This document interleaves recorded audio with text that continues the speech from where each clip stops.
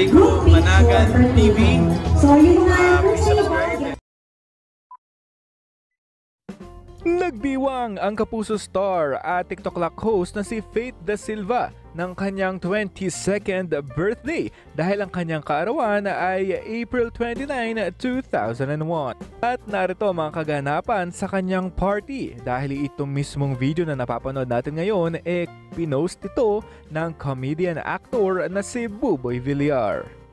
Napakaganda talaga ni Faith Da Silva at narito ang kanyang caption. Birthday mode still on. Thank you for my beloved family and friends for gracing me with your presence. Grateful for every birthday wishes from each and every one. You made it extraordinary. I'm so happy to be growing and loving every part of life. Cheers to adulthood.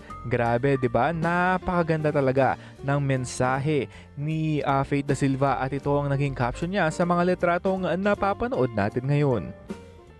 Pero narito naman at napaka-sweet naman kasi talaga ng kanyang katrabaho sa All Out Sundays na si Buboy Villar dahil dumalo din siya dito sa kaarawan ng aktres. Kaya naman may mga netizens na nagkokomento na tila'y nagseselos itong si Jelay Andres na tinaguri ang best friend ni Buboy.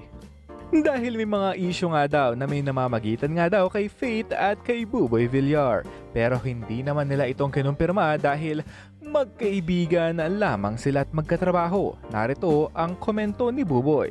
Happy birthday Faith Da Silva at may pa-heart pa siya ha. Agad naman nag-reply si Faith Da Silva, maraming maraming salamat boy at may pa-heart din na emoji. Grabe, ano kaya ito? May namamagitan nga ba o sadyang magkaibigan at very sweet lamang sila? Ano sa tingin nyo guys? Comment down below. And that's all for now. This has been G Kumanangan TV. Thank you for watching.